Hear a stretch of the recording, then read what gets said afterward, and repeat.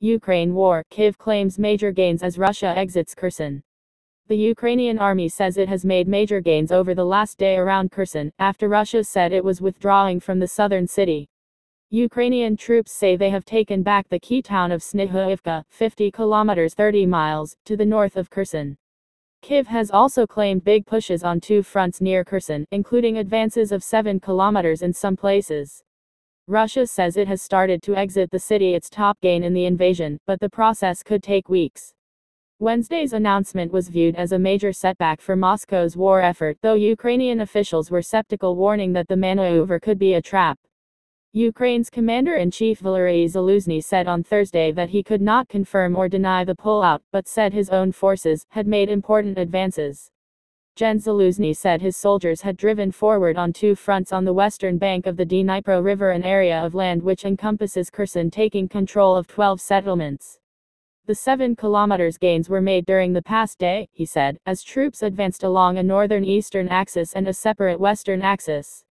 Video footage showed soldiers being greeted by locals in a square, apparently after entering the town of Snihurivka. Snihurivka sits at a major road junction and is a rail hub for Mykolaiv region, which borders Kherson to the north and west.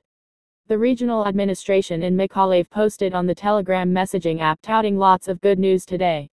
It fueled speculation on Thursday night that Ukrainian troops had reached the outskirts of Kherson itself, after cryptically posting a single letter minus in Ukrainian. This was taken as a possible clue that troops had reached the suburban village of Chornobaivka. It was not possible for the BBC to independently verify the details of the latest territorial gains and losses, but the reports come after weeks of steady advances from the Ukrainian military.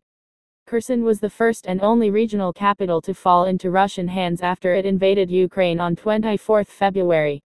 From late September, it was viewed by the Kremlin as Russian territory, following so-called referendums in occupied areas of Ukraine that were widely discredited by the international community.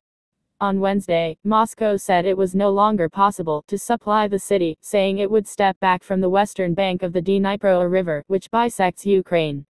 Notably, Russian President Vladimir Putin did not take part in the televised announcement. Ukraine's Gen Zaluzhny said Russia was left with no option but to flee, after its supply lines were destroyed and its command systems disrupted. Later on Thursday, Ukraine's defense minister said it would take Russia at least a week to withdraw and that it was not easy to predict the actions of his enemy. Jens Stoltenberg, the chief of the NATO military alliance of Western nations, said it was clear Russia was under heavy pressure, but that it was important to see how the situation on the ground develops. The UK Defence Secretary said Russia appeared to be setting up a defensive line on the other side of the Dnipro River using concrete installations. A Ukrainian presidential advisor said it was too early to celebrate accusing his enemy of wanting to turn Kherson into a city of death by leaving mines and plotting to shell it from afar. That could add to the casualty count of a war which has already killed or injured 100,000 soldiers on each side and 40,000 civilians, according to the latest estimate from a senior U.S. general.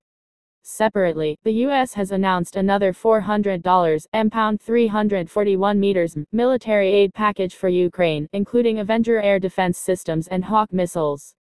Ukrainian President Volodymyr Zelensky earlier said he had also discussed defense support from the UK with British Prime Minister Rishi Sunak.